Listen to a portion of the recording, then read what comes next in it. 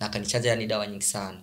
Mm. yani naweza nikasema kwenye mwili wangu yani kuna yani huwezi kupata hata hatua ya hivi ya kusema kwamba hii hatua unaweza ukaipata ambayo haina chale ile dawa aliyonipa ilikuwa ni ya kunipa utajiri. Nilikuwa sipo ndani ya kaburi. Nilikuwa tumekaa kwenye kwenye sanda. Mi nilikuwa nimekaa kwenye sanda fulani kile kitambaa amekitandika pale chini. Mm. ndio nilikuwa nimekaa. Alivyomaliza kunuia ile jeneza limefunguka na ukaja kama upepo fulani ukanikumba nikajikuta nimelala sasa kwenye lile jeneza yaani nawaambia kesho kumbe wao sasa wameenda kutangazisha msikitini kwamba wamepoteza Wamepoteza. yaani wamepoteza mtoto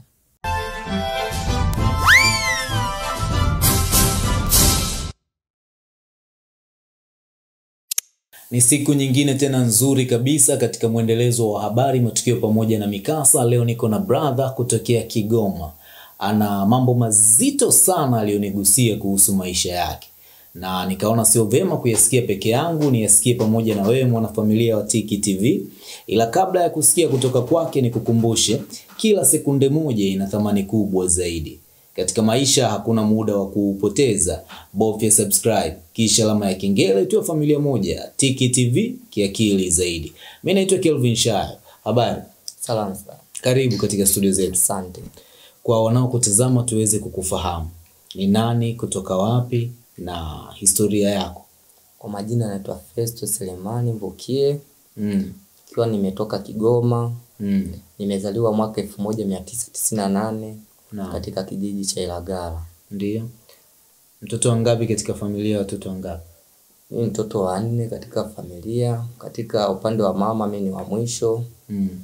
ila katika upande wa baba kuna wengine ambao wako nyuma yangu Naam. Karibu tuweze kuifahamu historia yako. Kuanzia unaanza sasa kujitambua kwamba unaitwa Festo, safari yako kielimu na yote yaliyopita katikati katika historia ya maisha yako. mimi nimeanza shule nikiwa na umri wa miaka sita na nusu Mm. hapo ilikuwa ni mwaka elfu mbili na elfu mbili na nne Mm. nimesoma shule ya msingi mwandiga nikiwa naishi kwa babu yangu mimi mzaa mama Mm. Kwa nini sio kwa mama na baba? Mamangu mimi alivyojifungua kwanza mimi ni, amefariki nikiwa na umri wa miezi minne Pole sana. nikalelewa na mamangu mdogo mza mama kwake na mamangu Mm. badala ya kuonekana mamangu ameenda mbali na mazingira yale ya nyumbani mamangu le mdogo Mm. nikachukuliwa na babu yangu mimi mza mama Mm. ndio kwa sababu mamangu mdogo aliniacha pale Mm. nikale nikapuliwa nikapulia pale mpaka kwenye umri huo kufikia kwenda kusoma shule Mhm. nimeanza chekechea nikiwa na umri wa miaka sita na nusu elfu mbili na nne Naam.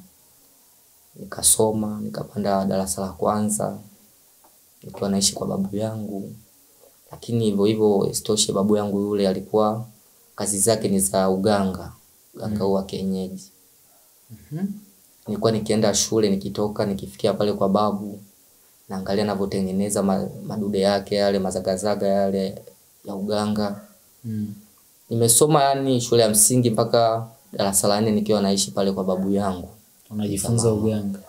yaani nikitoka shule nikifika pale naangalia anavyotengeneza anavyotengeneza dawa zile anavyowatibu watu kutokana na mimi na kipaji ambacho nilichokuwa nacho cha kukalili vitu kama vile Mm. nikifika pale na kalili hichi dawa hii inaponya dawa hii inaua hii sumu hii sio sumu.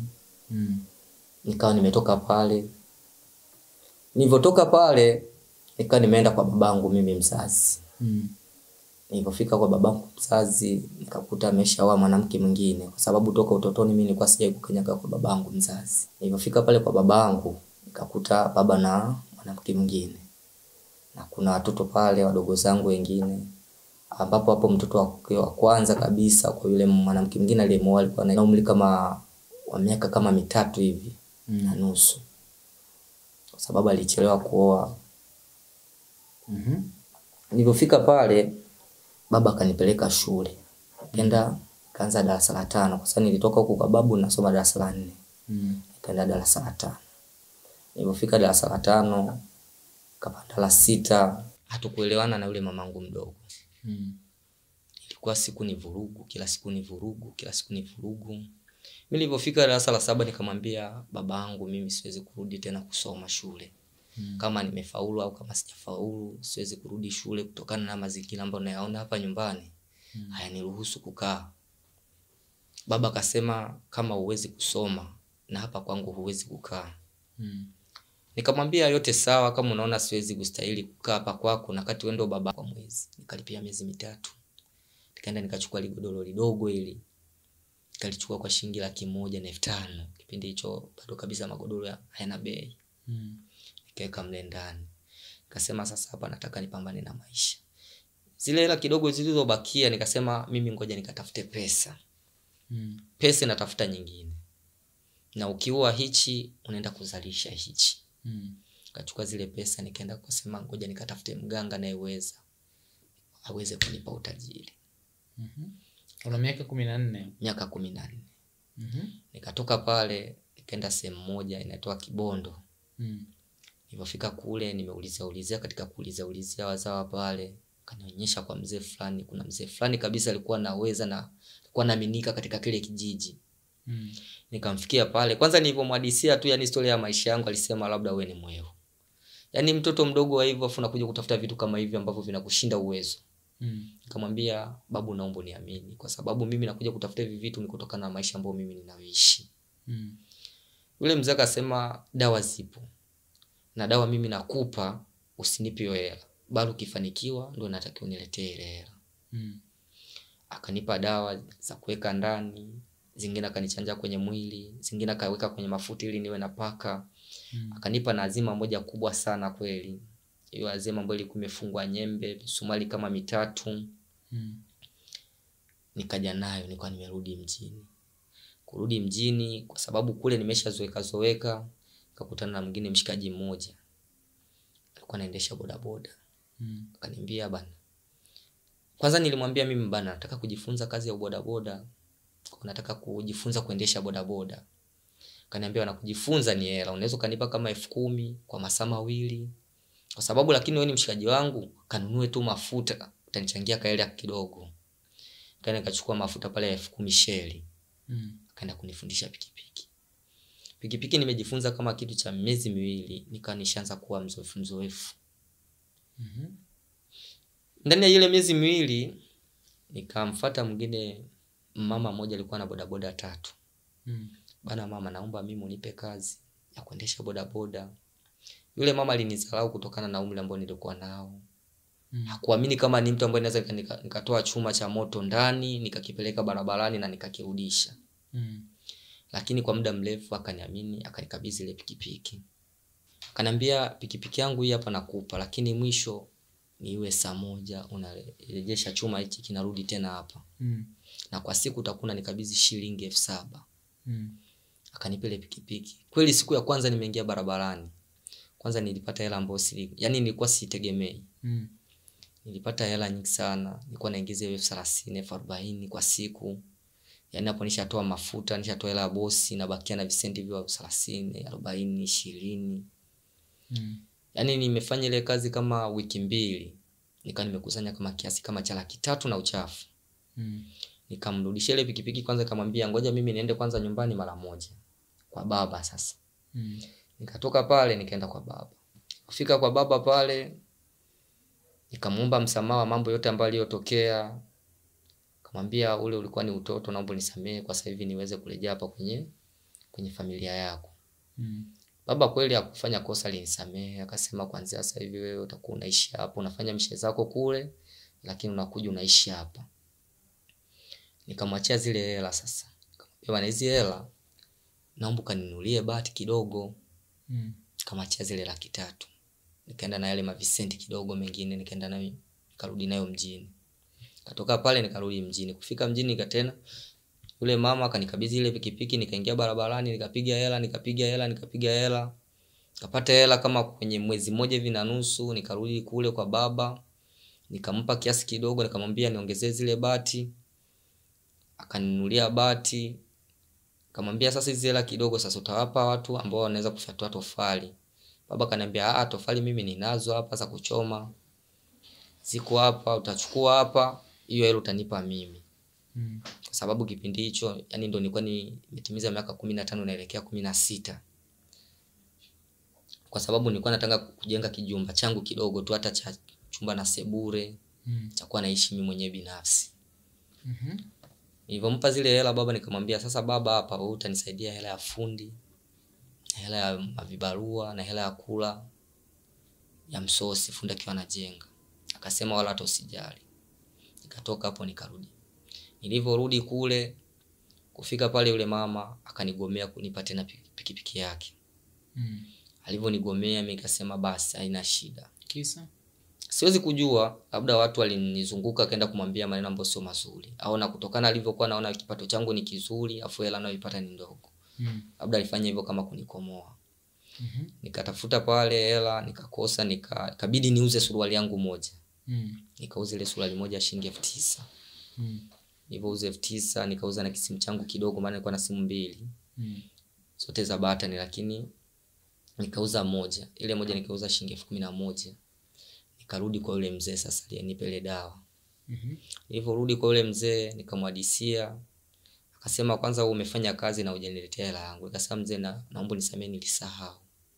Yaani wewe nilikuchukulia kama mjukuu wangu kwa sababu wewe damu yako imekutana na mazingira yangu haya Mm. labda angelikuwa ni mtu mwingine mpaka sasa hivi ungekuwa umeshapata matatizo nikamwomba msamaha pale akanitengenezea sasa dawa nyingine ambayo ilikuwa yenye nikomesha kabisa kiboko Mm. ile dawa aliyonitengenezea labda naweza nikasema azima moja ilikuwa inakaa ndani yangu na nyingine nilikuwa naiweka mfukoni nyingine nilikuwa naiacha ninapolala Azima ni? yaani hilizi Mm. maana alinipa hilizi tatu ambayo hilizi moja liifungia kwenye mwili wangu ndani Mm. nyingine nilikuwa natembea nayo mfukoni na nyingine nilikuwa naiacha pale ninapolala Mhm. akaniambia nenda na kazi utapata tena kazi nzuri na hela utakuwa unapata Tuanzie kwenye hiyo aliyoifungia ndani, aliifungiaje? yaani ile pale aliyoifunga aliifungia hapa hapa Kwenye uti wa mgongo. Eh, hapa alinipiga chale tatu hapa akanipiga moja katikati akanipiga moja nyingine kiunoni Mm. kanipiga moja hapa katikati ya kifua hapa Mhm. Ka- kidogo yani akachana kidogo akaweka pale akanuia maneno kidogo akanuia ikazama kwenye mwili wangu. Yenyewe tu ikazama? Ikazama yenyewe. Samesha nichanja ile dawa. Mm. na maana alinuia nuia pale akanuia ikaingia kwenye mwili wangu. Ilivyoingia iliingilia hapa lakini ikaja kukaa hapa.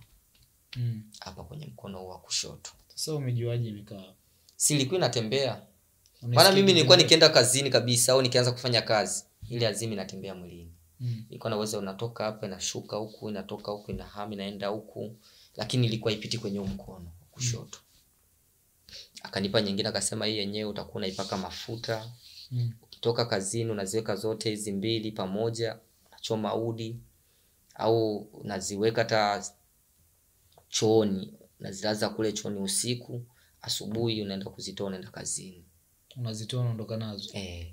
Mhm. basi nikawa nimetoka kule kule mzee mimi nikashuka na wala sikumpata hela yani alinisaidia tu alijitolea kama kunisaidia kutokana na, ma, na majanga aliyonikuta nikakutana na mshikaji mmoja akaniambia bwana mimi niko naenda harusini naomba nilindie hapa siku ya leo nakupa pikipiki kama dai wako utanipa hela kidogo ya mafuta Mm. akanikabidhi ile pikipiki lakini cha kushangaa mtu tunakubaliana buku abiria ili nimbebe kabisa nimfikisha na kuenda nipe buku ulikuwa unaona mtu ananipa elfu tatu. Sasa najiuliza mtu ananipa elfu tatu kwani kulikoni? Kazi kubwa nimeifanya au? Mm. mtu ananipa elfu tatu elfu tano nikimbeba tajiri hadi wengine wananipa elfu kumi. Hiyo siku kabisa nikapata hela. Mm.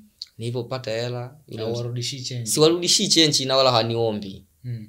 nilivyopata ile hela yule mshikaji alivyokuja kuchukua pikipiki yake akaniambia bana kesho. Kwa sababu nilimpa elfu ishirini. Mm. hiyo siku kwa sababu kutokana na kipato ambacho nilikipata. Kwanza liniona waajabu Mm. Pikipiki ukianza nayo asubuhi mpaka jioni unalipa shilingi elfu saba kwa elfu kumi lakini yeye nilimpa elfu ishirini kwa sababu hela ambayo nilikuwa nimeipata siku hiyo Ulipata kiasi gani? nilipata kama kwenye elfu sabini hivi Mm. ambayo ni- nilikuwa siitegemei -hmm. akaniambia bwana na kesho uje uchukue pikipiki na maana akaniamini tena Mm. asubuhi nikamkia kwake nikachukua pikipiki nikaingia barabarani yaani niseme kiuchache yani kwa siku kuingiza themanini sabini sitini hamsini Mm. kilikuwa ni kitu kidogo sana Mhm. yule mzee baada ya siku kama nne nimetoka kwake akanipigia simu akaniambia bana naomba niagizie laki moja nikachukua kwenye zile ambazo nilikuwa nishazipata nikamtumia nilivyomtumia akasema kuanzia sasa utakuwa unafanya kazi na hela zako unaziona na kipato chako kuanzia sasa kinapandishwa cheo Mm. yule yule jamaa alivyonipa ile pikipiki nimetumikisha kama wiki kama tatu ukimpa elfu ishirini kila siku Ah, nilikuwa nampa shilingi elfu kumi mwingine naenda nampa elfu saba lakini kipato changu Mm. kilikuwa kishuki hadi nipate hela ambazo zipo chini ya shilingi elfu hamsini kwa siku Mhm. kweli yani ndani ya hiyo miezi mingapi yani hizo wiki tatu nilipata hela ambayo yani sikuitegemea ikabidi kwanza nirudi sasa kule kwa babangu nilivyorudi kule kwa babangu nikakuta amenijengea alijumba yani chumba kimoja na sebula lakini alijaisha ndo limefika kabisa katikati Mm. Nikampa zile hela kidogo nimachia pale laki mbili na elfu sabini nikamwambia naomba malizie hii nyumba. Muda kichache nije kuishi hapa. Akasema wala mna shida. Mimi nilikuwa ni mtu ambao sikai nyumbani. Nikikaa siku yani siku moja siku mbili natoka tena narudi. Nikatoka tena hiyo siku nikarudi mjini. Nilivyorudi mjini ndo nikakabidhiwa sasa bajaji. Mm. ya mwingine mama mmoja alikuwa ni mwalimu wa shule ya msingi. Alinikabidhi ile ile bajaji ili niendeshe. Mhm. Alivyonikabidhi ile bajaji ile akaniambia hapa kwa siku utakuwa niletea shilingi elfu ishirini na hizi Hata. elfu ishirini na tano Mm. mkataba au yani kawaida? Mm-hmm. Mhm. nikasema wala hiyo sio shida kanikabidhi ile bajaji nikaingia toka nilivyoanza kukanyaga yani kwenye ile bajaji naendesha Mm. maisha yangu alibadilika ghafla kabisa mm-hmm. yani mimi nikawa ni mtu mwenye kipato yani tofauti yani na vipato vya watu wengine kuingia barabarani nikuweke elfu hamsini arobaini sitini. Yani kuikusanya ni yani kawa kama wazoea nikisema yani nikiamka tu nikienda barabarani yani leo hamsini arobaini nikikosa ni uhakika. Mm. nikawa nakusanya hela nikakusanya hela. Nikakusanya kweli hela kama laki sita hivi. Mm-hmm. nikasema sasa hizi hela naona zinitoshi na mimi sasa hivi ninavyozidi kukua yani majukumu yangu yanazidi kuwa makubwa. Nikatoka sasa nikatoka nje kabisa na mji nikasema mimi nakwenda kutafuta utajiri. Hapo ndo niko na karibia kwenye sasa miaka kumi na saba. Mm. niko inaelekea kumi na saba na nusu. Nikatoka pale nikaenda kutafuta waganga.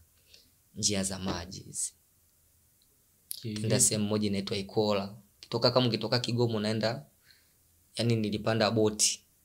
Kama unakuja huko kwenye mipaka ya, mwa, ya zambia na tanzania. Mm. Kule makusini kusini. Kwa sababu kule ndo walikuwa nasema kuna waganga ambao wanaweza wengi. Mm. nikaenda kule. Nilivyofika kule nilikutana na mwingine mwanamke wa ajabu sana. Mm. nikamwadisia nikasema mimi natafuta utajiri kwa mali yoyote yani Huyo kwa nguvu. katika mazingira gani ilikuwa? Yani yule mwanamke nilivyofika kwanza siku ile ya kwanza maana kwenye boti tulikuwa tulitembea siku nne. Mm. yani unashinda unalala unashinda unalala unashinda unalala unafika kama kesho kutwa yani unatembea siku tatu na nusu Mm. kiuchache lakini mkichelewa mpaka siku nne Mm. nilivyofika pale unavyojua mtu ukiwa mgeni mgeni unakuwa hujachangamka Mhm. mi nilifika pale nikakutana na wengine mablaza ambao walikuwa ni wavuvi wanavua samaki hawa kaambia bana nyee mnavua lakini kwa sababu sisi kama kule kwetu tunajua yani asilimia tisini yani watu ambao wanavua wanakuwaga ni watu washirikina sana tunavyoamini. Mm-hmm. nikawaambia naomba mnionyeshe sehemu ambapo kuna mganga maeneo ya hapa. Ile jamaa ndo akajitolea akanipeleka kwa hiyo mama. Mm. alivyonipeleka kwa hiyo mama mi nikamwadisia nikamwadisia akaniambia umekuja na hela? Nikasema mimi hela ninayo kidogo japokuwa sio nyingi. Naomba unisaidie. Alivyo nilivyofika pale yule mama akanipima sasa. Anakupimaje? Akanipima yani alitumia hivi vyungu hivi vya kienyeji. Mm. yani, na, yani vitu vingi sana na vibubu hivi Mm. kanipima akasema we kijana yani kwenye mwili wako una hilizi nyingi sana Mm. ambayo ya kwanza umefungiwa kabisa na babu yako mzaa mama Mm. na nyingine umeenda kuitafuta wewe mwenyewe na wewe una kipaji au una nyota yani ya kipato kizuri Mm. lakini mwili wako uko nje nje kivipi nikamwambia sasa upo nje nje kivipi akasema yani mwili wako wewe yani mtu akisema kutafute kwa haraka haraka yani kukuroga ni vyepesi kabla ya kutafuta utajiri tengeneza mwili wako Mm. ah, kweli yule mama nikaona amechoniambia kimenigusi badala sasa ya kutafuta ule utajiri nikamwambia naomba unitengenezee dawa sasa ya kinga unifunge Mm. hata mtu yeyote mimi akinitafuta kuniroga asiniweze Mm. akasema kazi ndogo utaweza kuvumilia maana yani, yani kufunga mtu yani vina majaribu makubwa sana Mm. akasema mimi nitaweza siku ya kwanza nimelala pale kwake akaniambia ngoja nitengeneze dawa. Alinitengenezea dawa ya ajabu moja kubwa sana. Akaniambia ni dawa nakutengenezea lakini inabidi mtu naenda kulala kaburini siku tatu. Mm. sasa namuuliza sasa nalalaje sasa kaburini kule? Akasema yani sio kaburini yani ni kama nakuzika. Mm. ndani ya kaburi ndani ya kaburi utakaa tatu. siku tatu na utatoka. Kauli, ufanyi nini? Kauli na wala ufanyi kitu chochote mi kasema kama sifi kweli kweli nitatoka. Kwangu hiyo sio tija. Ili mradi mimi nifanikiwe. Akanitengenezea ile dawa tulienda majira kama saa saba usiku Mm. makaburini wewe na yeye tu? Yeye na yeye mimi na yeye. Mm. kafanya mambo yake pale kamshamsha vya kuamsha. Vitu vingi vingi tu yani vya ajabu yani vilikuwa vinatakiwa tu moyo mgumu. Yani ilikuwaje yani yani tulivyofika pale alienda kwanza na chungu hichi. Mm. akaenda na nazi yani na dawa nyingi nyingi hizi za kienyeji Mm. vitu machupa. Alifika pale akaanza kunuia na kitambaa hiki cheupe sanda. Ya kusema kama sanda. Akakitandika pale chini tukakaa na kingine cheusi kwa mbele. Ndo akaanza kunuia yale maneno ananuia. Alikuwa ameshika mkia huu wa ng'ombe. Mm. alikuwa ananuia na agusisha ule mkia kwenye kile chungu cha kienyeji palikuwemo maji na dawa fulani ananimwagia kichwani. Anagusisha umu ananimwagia kichwani kwa baadaye akatengeneza mafiga matatu Mm. ambalo mimi nikakaa katikati kwenye ile sanda nyeupe figa moja akaliweka ubazi wangu wa ubavu wa kushoto lingine ubazi huu wa kulia lingine nyuma yangu ya mgongo Mm. akanuia akanuia akanuia akanuia akanuia akasema kwa sasa unaweza ukalala hapo kwenye hiyo sanda umenyoka Mm. kalala pale nimenyoka yaani nikaingizwa kule kwenye lile kaburi lile jeneza. Sijitambui kabisa nisijielewi. Sijielewi lilikuwa limechimbwa limefukuliwa kaburi. Yaani lile kaburi lilifukuliwa badala ya kunuia yale maneno. Ali- alifukuaje? Yaani badala ya kunuia yale maneno lile kaburi lilifunguka. Lenyewe? Lenyewe likajifungua. Lenyewe? Lenyewe likajifungua kabisa badala ya kunuia maneno likajifungua. Badala ya kujifungua ndo akachukua mafiga matatu haya akaweka moja ubazi wangu wa kushoto lingine ubazi wa kulia lingine nyuma yangu akanuia ma, maneno mengi sana mengine siwezi hata kuyatamka kwa sababu mengine alikuwa nayaongea kwa lugha yao hiyo mi sijui. Mm. akachukua dawa nyingine alikuwa ananimwagia kichwani akaniambia lala hapa unyoke. Nikalala pale nilivyolala pale yani nijikuta ni akili zangu zina hama tofauti. Mm. yani kama upepo kitu fulani kinakuja kinanikumba. Nikaenda kwenye lile jeneza. Lakini nilivyokaa kwenye lile jeneza hapo hazi- wakati umelala kitu kinakuja kinakukumba. Kilikuja kikanikumba yani kama upepo fulani yani upepo unapita mm. ule yani ile kupita mimi nikajikuta nipo kwenye jeneza nimelala. Wewe ulikuwa wakati wakati ana, ananuia unalala pale ulikuwa haupo haupo ndani ya, ya, ya kaburi? Yaani wakati yeye ananuia pale lile kaburi yani lile jeneza lile limefunguka mm. nilikuwa sipo ndani ya kaburi. Nilikuwa tumekaa kwenye kwenye sanda. Mi nilikuwa nimekaa kwenye sanda fulani kile kitambaa amekitandika pale chini. Mm. ndo nilikuwa nimekaa alivyomaliza kunuia ile jeneza limefunguka akaniambia rara kwenye hilo lisanda. Na maana nikalala pale pale ambapo nilikuwa nimekaa. Mm-hmm. akanuia akanimwagia dawa. Na ukaja kama upepo fulani ukanikumba nikajikuta nimelala sasa kwenye lile jeneza. Hamna mtu kwenye jeneza? Hakuna mtu tofauti na mimi tu. Mhm. nilivyolala pale alinuia maneno akanuia maneno akafunga. Badala ya kufunga ni nilihisi kama vile ni mtu sijui amelazwa yani katika hali gani yani sisi njaa sisi baridi wala cha joto. Yani nipo katika dunia nyingine ambayo yani tofauti kabisa na dunia ambayo tushaizoea. Hauoni kitu wakati huo yani sioni kitu yani naona ni giza tu. Mm. na wala yani mawazo yangu yani siwazi kitu chochote katika maisha yangu. Siwazi kwamba naweza nikafia eko yani siwazi nini. Yani naona katika yani yale mazingira ambayo nipo. Yani kwanza niliyapenda kiuchache. Nilipenda niishi yale mazingira yani nikae pale. Kwa sababu ni mazingira ambayo yani nilikuwa sisi njaa sifikirii hichi siwachi. Yani siwazi kitu chochote. yani? Hata sijikumbuki mimi ni nani. Yani nimelala kama vile ni mtu yani amebadilishwa kama kitu kingine. Mm-hmm. yani mimi sikujua yani nilikuwa sijui kama ni usiku umeingia au ni mchana au zile siku tatu zimeisha. Mm-hmm. ila kwangu mimi siku tatu yani niliona kama vile yani nimekaa kama dakika kumi. Mm-hmm. nimekaa pale. Akaja akanitoa. Alikuja usiku akafungua pale akanuia maneno yake akanitoa Mhm. tulivyotoka kaniuliza najisikiaje nikasema mi najisikia vizuri. Vipi mazingira umeyaonaje? Nikasema mimi mazingira nimeyapenda. Mm. naona akasema na utayapenda zaidi. Mm. tukatoka pale tukaenda ofisini kwake. Tulivyofika ofisini kwake akanipeleka kwenye limto fulani. Penyewe kule kwenye ule mto tulienda kabisa majira ya mchana kama mida ya saa sita. Mm. huo mto ni mto mkubwa sana. Sema tu yani ule mto nimeusahau kwa sababu mimi sikukaa kule kwa muda mrefu Mm. tukafika pale nikakaa pale akaniambia sogea pale katikati. Lakini hivyo weka mguu tu. Kona kama vile ule mtu unataka kunikumba. Akasema wala usiokope wewe. Kama unataka kunipeleka vile yani. Kwa sababu ule mtu ulikuwa na nguvu. Mm. niliweka mguu ikaona kama vile mguu unataka kuteleza kwenda. Mm. kasema mimi usiwezi kufika. Akasema wewe jikaze. Yani weka huo mguu wa kwanza nitishio hilo Mm. nikaweka nikatembea mpaka katikati ya ule mtu Auzami. sikuzama na ule ya na yani na ule mtu ah yani nilikuwa nimenatembea yani ule mto maji alikuwa ananifika kama Ah. eh. lakini ule mtu anakwambia ni mtu kikanyaga pale utoki Mm. unaenda kabisa mazima kwa sababu ni mtu ambao unaokopeka sana na vitu vya ajabu Mm.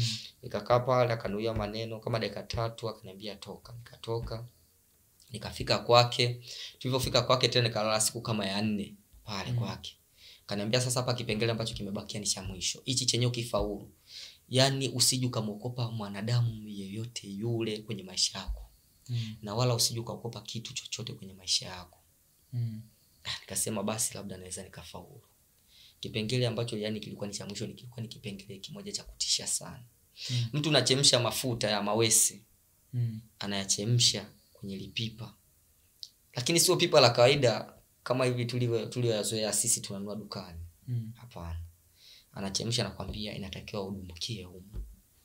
Yanachemka mafuta. mafuta yanachemka. Na unaona kabisa yanachemka na ukiangalia kwa chini hivi unaona kama vile moto mkali sana. Naangalia yale mafuta yalivyochemka. Mm. nikaangalia ule moto nikasema basi labda anataka kuniwa maziwa. Lakini fikra nikaanza kufikiria kama nililala kule kaburini siku tatu na sikufia kule na ndio sehemu ya kutisha. Labda naumu labda ni tishio tu. Nikaenda pale nikadumbukia. Yani pale kwenye lile lipi kulikuwa naingia ni uchi wa unyama kabisa kama ulivyozaliwa navua nguo zote. Sasa pipa si huwa ni refu. Ah, yenyewe mapipa ambayo wanatumia ni ile mapipa mapana afu mafupi. Mm. kama yani kama kipande fulani cha pipa lakini linakuwa lifupi afu lipana. Mm. nikaweka mkono nilivyoweka mkono yani vile nasogelea mafuta nikaisi kama vile mkono unaungua lakini akaniambia ukidumbukiza kabisa mkono huwezi kuungua. Mm. kabidi sasa nidumbukie. Nilivyodumbukia yani kudumbukia tu pale Mm. lile lipipa likatoweka sioni pipa kuna cha moto wala nini ilikuwa ni jaribio tu la kunitishia. Akaniambia yani kwa sasa hivi kama sasa hivi usije ukamwokopa mwanadamu yoyote. Kwa haraka haraka wewe kwanza ni marehemu. Mm. wewe umechomwa kwenye ma... nimepikwa kwenye mafuta Mm. na kitu kilichopikwa kwenye mafuta kama unavyojua kinakauka kina asili ya kukaushwa Mm. na yale mafuta kwao hakuna uchawi ambao unaweza ukakuingilia kwa haraka haraka wewe kama wewe Mm. uishi maisha ya kujiamini kampa pale nilipa laki tatu na elfu sabini kwa ile kazi aliyoifanya nikamwambia lakini japokuwa na hapo umenitengeneza nilikuwa nataka mimi unipe yani kipato changu mimi kiongezeke zaidi niwe mtu maarufu Mm. katika maisha ambayo mimi ninayoishi yaani nilimwomba viti hasa kama dawa hizi za mahusiano. Yani nikienda kutongoza demas nikatalie. Akinikatalia mimi nikienda kwenye kwenye mambo yangu ili nifanikiwe. Akanipa dawa nyingi sana. Na akanichaja yani dawa nyingi sana. Mm. yaani naweza nikasema kwenye mwili wangu yani kuna yani huwezi kupata hata hatua ya hivi ya kusema kwamba hii hatua unaweza ukaipata ambayo haina chale. Urefu yaani huu urefu upana huwezi kupata kwenye mwili wangu. Hata usoni. Yaani usoni usoni napo si ziko hapa nyingi ziko hapa zingine ziko hapa. Mm-hmm. umu tu zimo nyingi kama hamsini ila kama una macho ya kuona uwezi kuziona wenye macho ndo wanaziona. Mm-hmm. nikawa nimetoka pale nikashika usafiri nikawa nimerudi tena wapi kigoma. Nilivyorudi kigoma nafika pale nikapitiliza moja moja kwa home. Kufika nyumbani nikakuta kweli lile nyumba limeisha lakini bado kupiga lipu ndani bado nini kutengeneza yale mazingira. Nikafika pale nikamwambia baba naomba nikope hela kidogo nitakurudishia kwa sababu mimi sasa hivi biashara yangu au mimi kazi ninazo- ninazozifanya nimekwama. Mm. kaniambia usijali. Lakini natakiwa ukae hapa kama wiki moja kwa kumsaidia fundi na kumwelekeza mazingira unayokuwa unayapenda.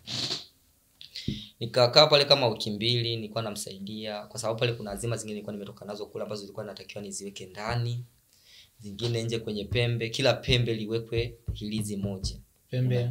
pembe ya nyumba. Mm. yani unachimba chini unaweka. Unachimba chini unaweka. Na ndani pale ambapo yani unajua kwamba hapa nikiweka kitanda hapa Mm. natakiwa ile ilizi nakaa katikati ya kitanda. Na nyingine naiweka juu. Walivyomaliza kupiga lipu nikaweka yale ma, mazagazaga yote nimetoa kule. Yani kasema kwa sasa maisha yangu anaenda kubadilika. Acha nikatafutia sasa pesa lakini cha ajabu kumbe katika vitu ambavyo alivyonipa vya kuniongezea kipato alinipa vitu yani yani sijui nisemeje hivyo vitu Mm.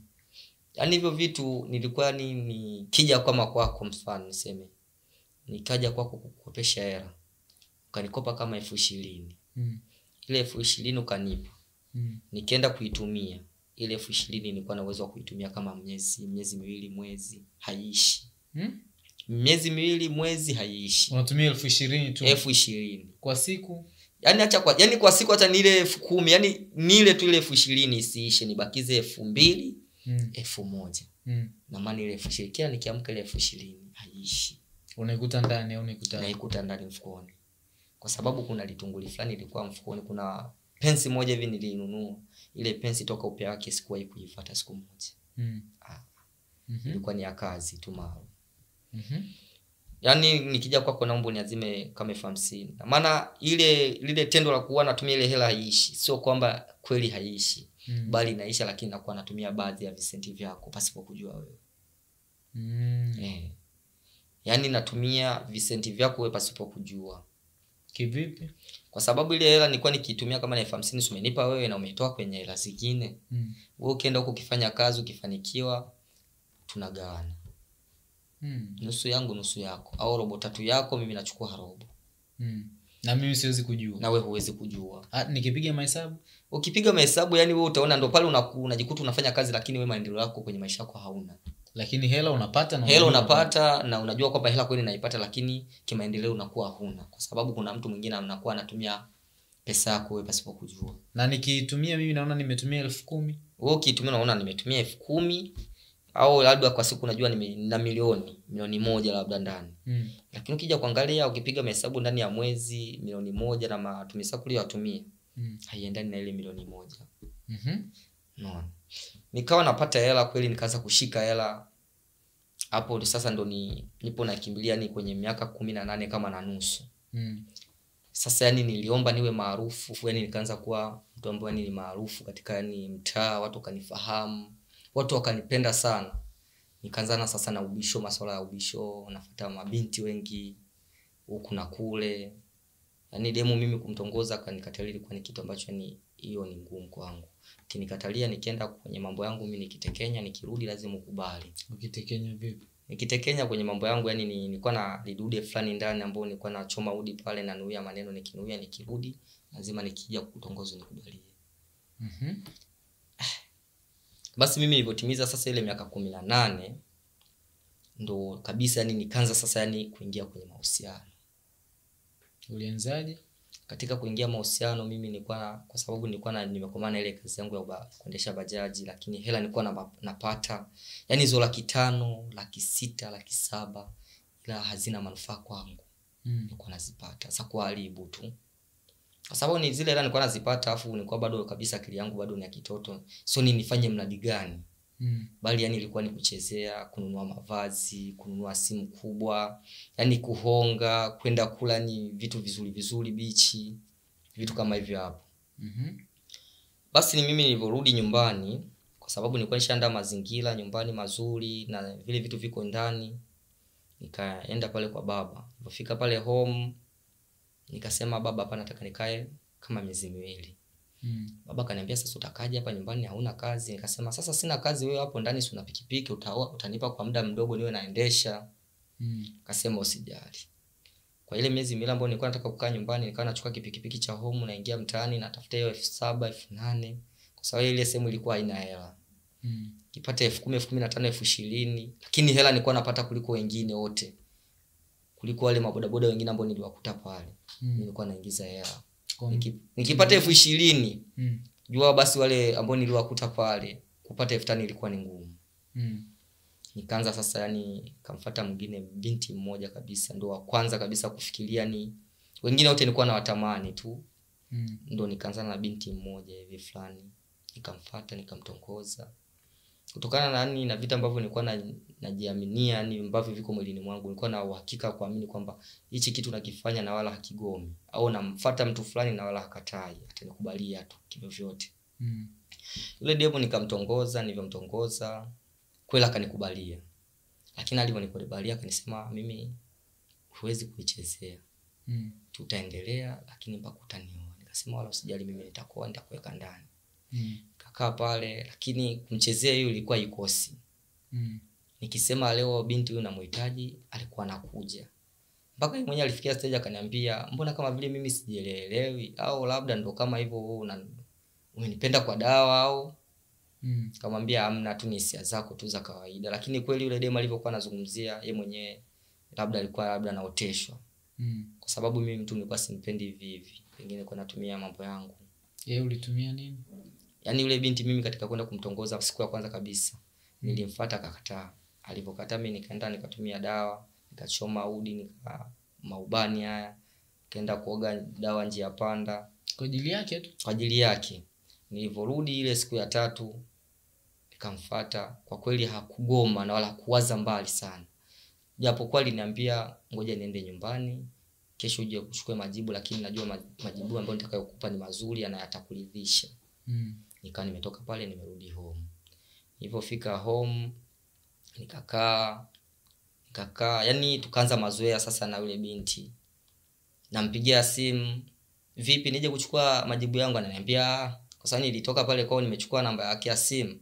Mm. ananiambia ah usisubiria nitakwambia. Yani akawa yani ni mtu akunambia subiria subiria subiria mpaka wiki mbili wiki tatu mwezi miezi miwili ikaisha. Tukawa tunaishi kimazoea hajawahi kunitamkia kama ananipenda ila mimi nampenda kweli Mm. nikawa nimetoka mpaka pale nyumbani nikarudi mjini hivyo urudi mjini mimi nikaona kama vile mambo yangu yameharibika kutokana na uzinzi ambao nilikuwa nimetoka kule homu nimeufanya Mm. nikaona kama vitu vyangu mimi vimeharibika nikarudi sasa nikachukua safari ya kurudi kibondo kwa yule mzee wa mara ya kwanza kabisa ambaye alianza kunikabidhi dawa ya mvuto Mm. nilivyorudi kule kwake nikamwadisia akanipa dawa ile dawa aliyonipa naweza nikasema ilikuwa ni ya kunipa utajiri kimchache. Kwa sababu ile dawa yani nilikuwa nikiweka ndani nyie mkifanya kazi mimi hata nisifanye kazi naingiza Unaingizaje? nilikuwa naingiza hivi kwa sababu ile dawa mimi niliyokuwa nimeleta mara mara pili kutoka kule mzee niliiweka ndani. Pale ambapo kwa sababu mimi huku nyumbani nilikuwa naishi kwenye nyumba hilo lijumba ambao nilikuwa nimejenga. Lakini nikienda mjini nimepanga. Mhm. nilikuwa na na kichungu fulani hivi na kioo. Hivi vioo nakuta vi, ni vioo vya mduara fulani. Mm.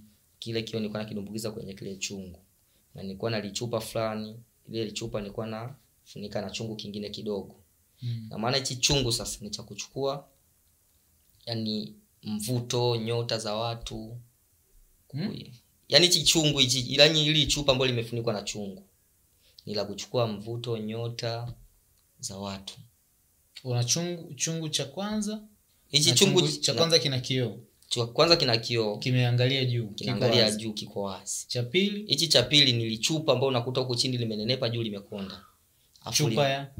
Chupa ile ambayo linatoka mwa pombe nini vibuyu tu kama vibuyu fulani. Vibuyu ah, yani nilichupa yani yale machupa yalikuwaga ni yale ya zamani. Mm. yani apatikana kwa waganga kama wapo nakuta chini kabisa limetanuka li- lipana sana afu kwa huku juu nakuta mdomo mwembamba afu mrefu.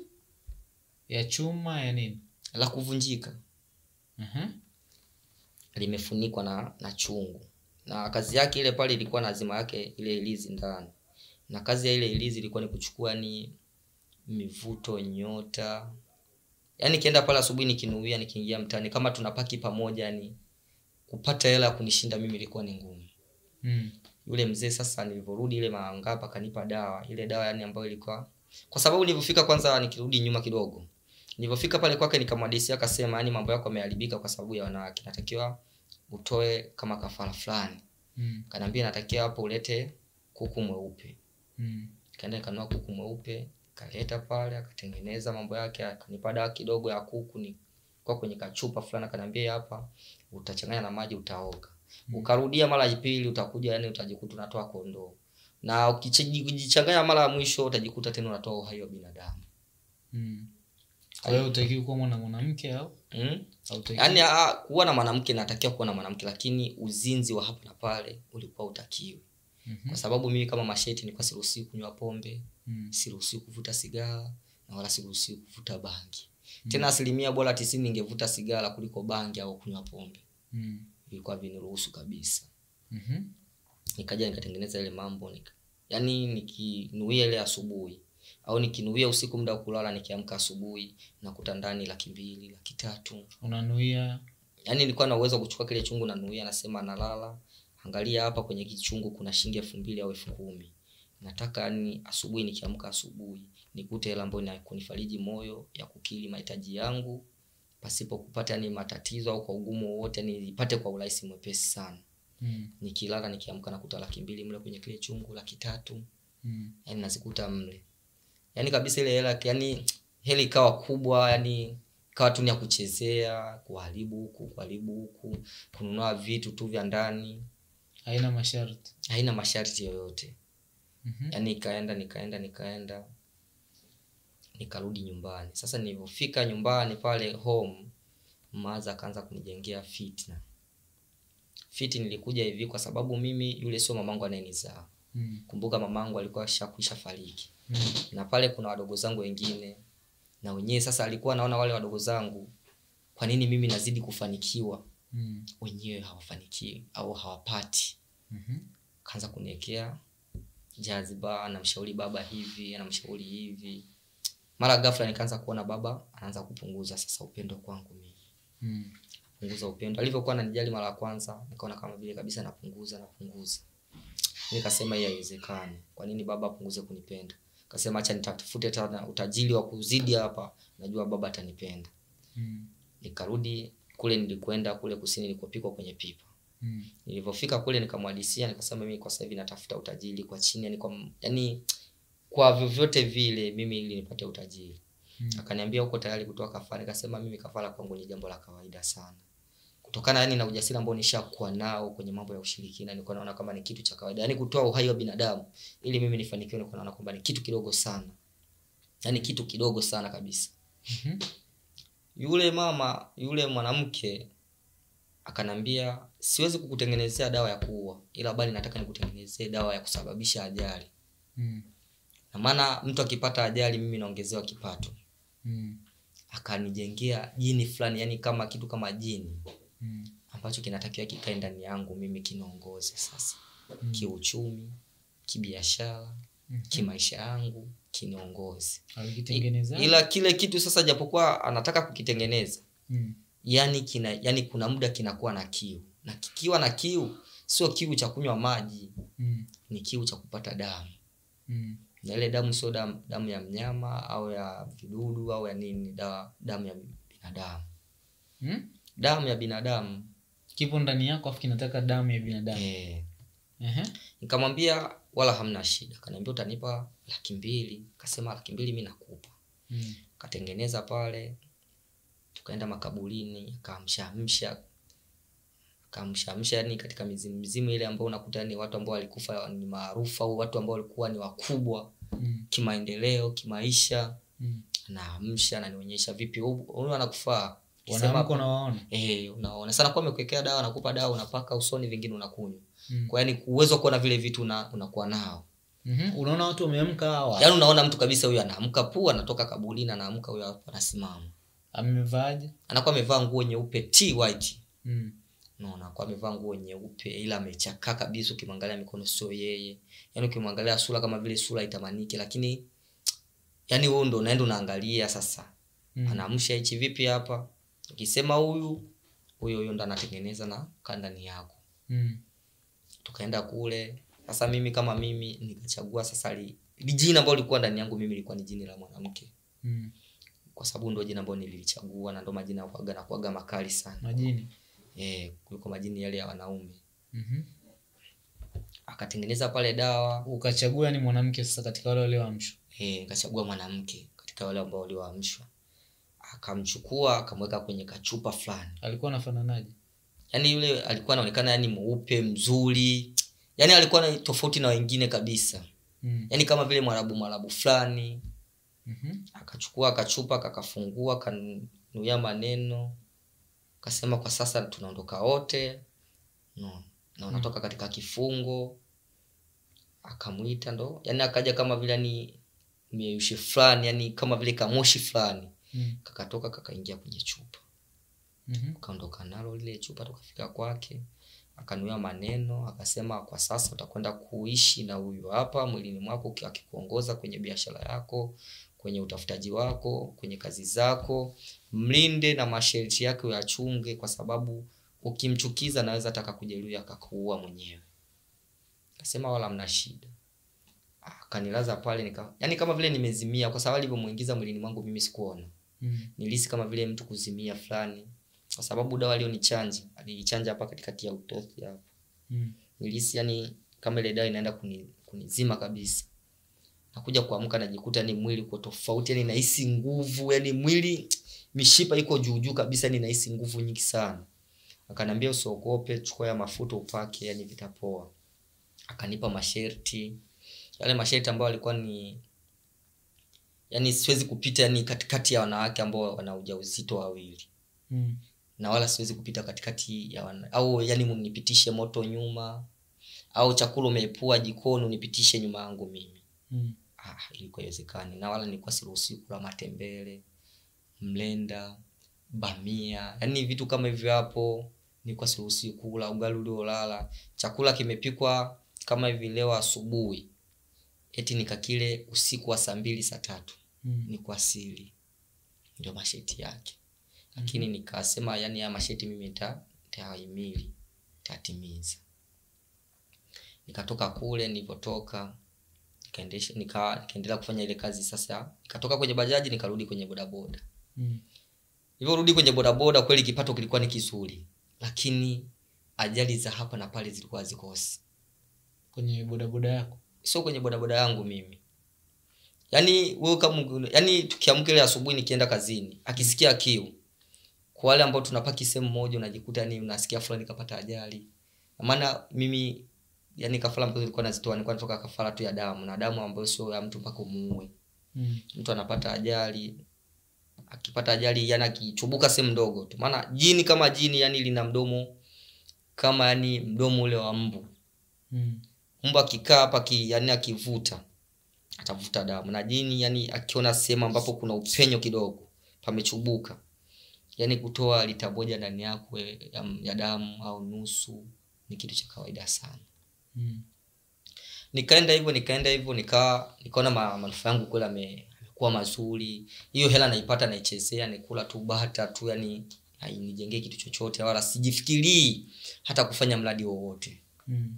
ila yani uwezo yani wa laki saba laki sita kiwango changu hicho yani ilikuwa ni kawaida nikawa nimerudi nyumbani nilivyorudi nyumbani lakini hapo yani nikirudi nyuma yule binti tukawa tunawasiliana Mm. nilivyorudi nyumbani sasa yule binti tukawasiliana kabisa vizuri tukaongea freshi aka akawa na rafiki yake mwingine Mm. sasa nilivyorudi kula ninaambia bana kama umenipenda kweli kwa dhati hakuna shida tuta, tuta tutaishi nini kamwambia wala usijali yaani yule binti tukapendana kabisa ni kwenye roho ya kusema mimi yule binti nikampenda sana zaidi Mm. lakini alikuwa na rafiki yake sasa ambapo yule rafiki yake yeye alikuwa ni mwislamu Mm. yeye alikuwa ni mkristo naona akawa nakuja nanitambulisha nanaambia "Huyu hapa rafiki yangu naona Mm.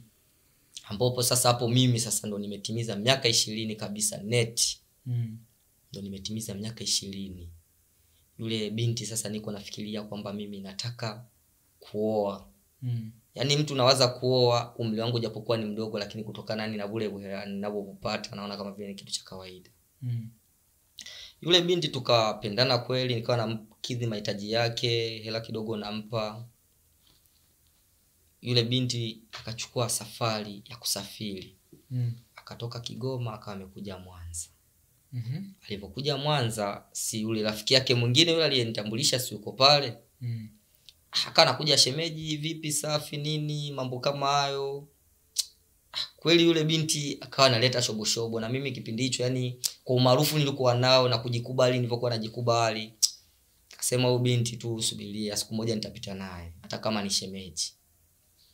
Kupita naye kwa maana yani kumchezea labda kimapenzi. Yaani kuwa na mahusiano naye. Si kwamba kumtongoza bali nahitaji kulala naye mm. kimapenzi fulani. Mm-hmm. yule binti akawa analeta shobo.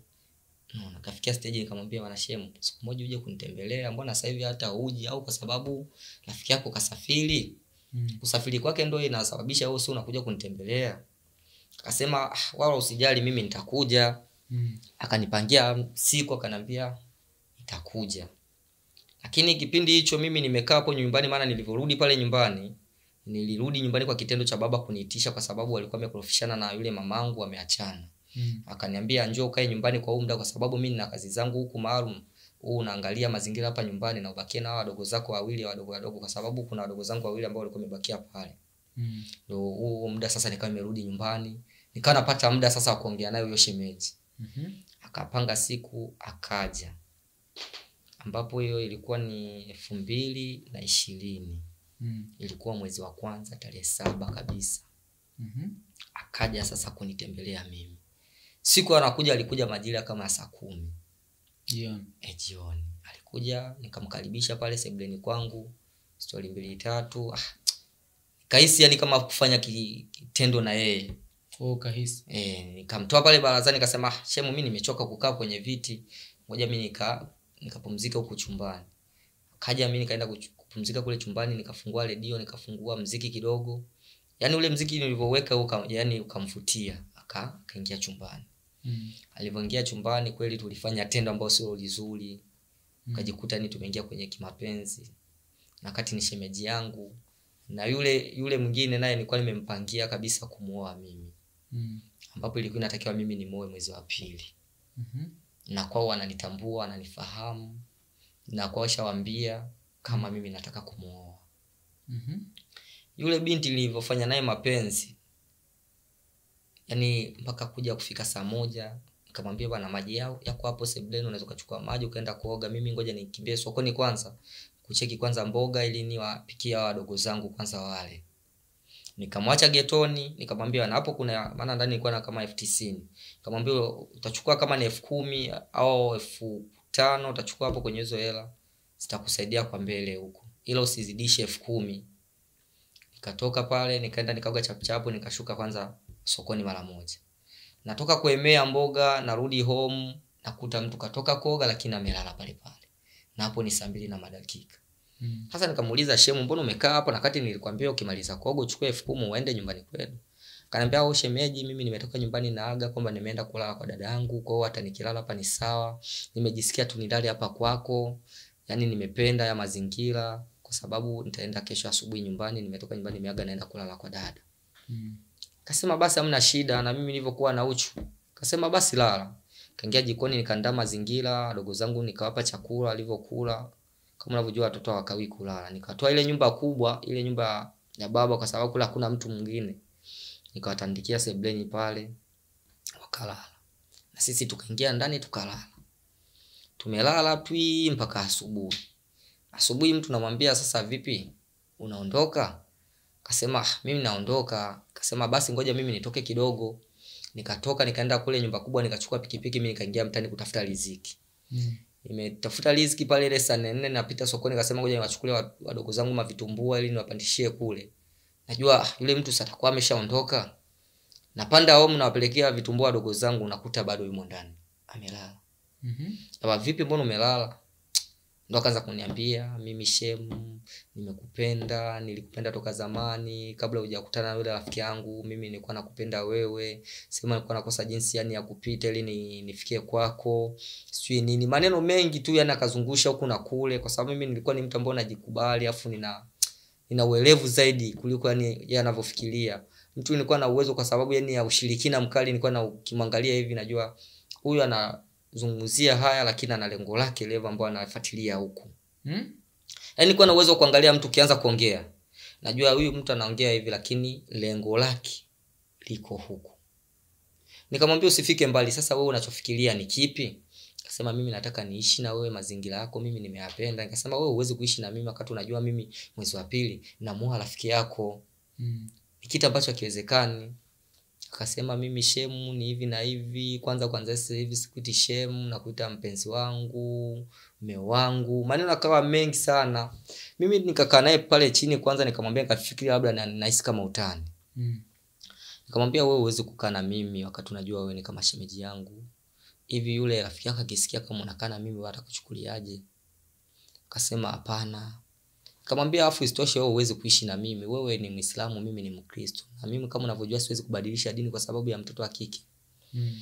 yeye akaniambia wala hata haijalishi. Mimi nitabadilisha dini kwa sababu mimi ndo nimekupenda zaidi. Mm-hmm. yaani yule binti aliongea maneno kabisa mpaka mimi mwenyewe nikajikuta yananishawishi. Ah, nikajikuta yani namkubalia tu ghafla. Nikamwambia basi amna shida utakaa. Utalizika na hala ambayo iliyoko hapa. Mhm.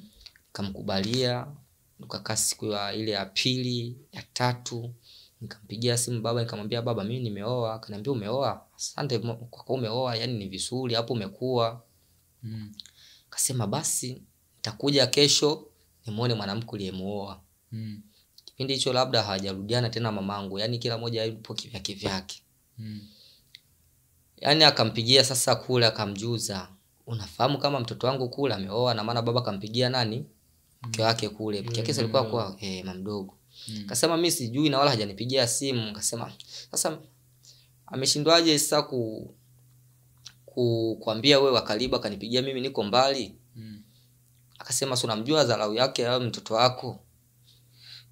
Baba kama kesho akaja tukakaa pale chini akaniambia umeoa mwanangu lakini umeoa dini tofauti vipi makubaliano yao ni yapi? Nikasema huyu hapa amekubali kusilimu kubadilisha dini kunifata mimi kuwa mkristo. Kasema kama amekubali ni vizuri. Je vipi wazazi wake wamekubali au kuna makubaliano yoyote ya wewe na wazazi wake? Mm. kasema ah, baba si unajua mambo ya vijana nayo bana yameenda wala kuna makubaliano yoyote ni moja mbili tatu. Kanaambia sasa inabidi sasa kwenda kule kwao ukatoe ukatoe ripoti. Kesho hata kesho kutwa huyu ni mwanadamu anaweza kupata matatizo na hujatoa taarifa kule kwao. Vipi utaenda ku au utawahadisia nini?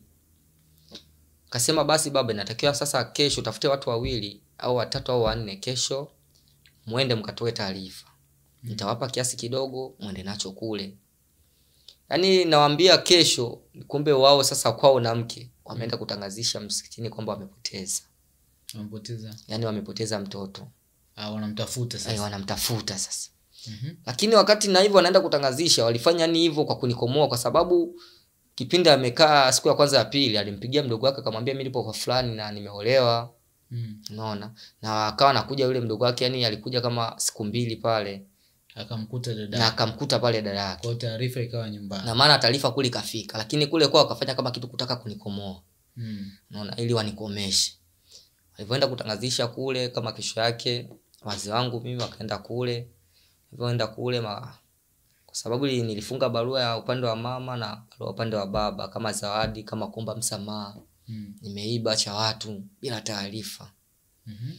fika pale wakasema sisi hatuna shida vipi je sasa katika kuhusu dini Mm. inaendaje Ah, pale baba akasema wenyewe wamekubaliana kwamba mtoto wenu wa kike atafata dini ya mtoto wangu mimi wa kiume.